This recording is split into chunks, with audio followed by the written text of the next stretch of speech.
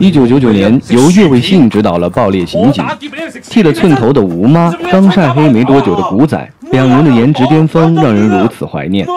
在《杀破狼》《导火线》和《叶问》之前，叶伟信是将艺术和商业平衡的最好的年轻导演之一。他的作品常常流露出强烈的人文关怀、敏锐的社会观察及引人入胜的黑色幽默。譬如，他可以把《旺角风云》里的古惑仔世界拍出一丝丝浪漫、惆怅、落寞，也有能耐把朱丽叶与梁山伯这样的小格局黑帮片拍成一部轻盈的爱情小品。当江湖人物想要偏安一隅的欲望与他的身份形成落差，自然就有了那种荒诞悲剧的味道。片名《爆裂刑警》或许会让你联想到由陈嘉上执导的那部金像奖之作《野兽刑警》。不过，两者的画风截然不同。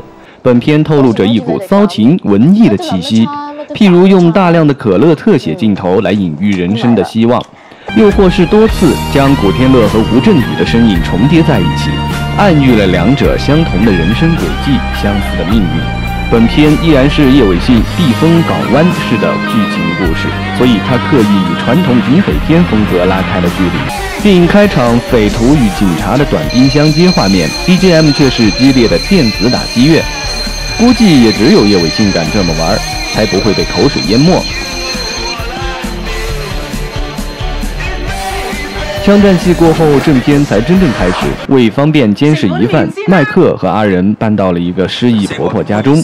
婆婆将他们当作儿孙一样对待的善良举动，也让两个冷漠的警察找到了家的温暖。短暂且平静的生活中，阿仁爱上了学生妹，而麦克也恋上了洗衣店被男友遗弃的孕妇。五个本不相识的人，却犹如一家人一般团坐吃饭。大量生活化和碎片化剧情的堆砌，使得这部警匪片多了一丝温暖。在这部电影中，没有什么警察，我们更多看到的只是普通人。那么，既然是普通人，就会犯错。麦克和阿仁为了帮两个女人获取赡养费，决定吞掉悍匪的赃款，悲剧就从这一刻开始。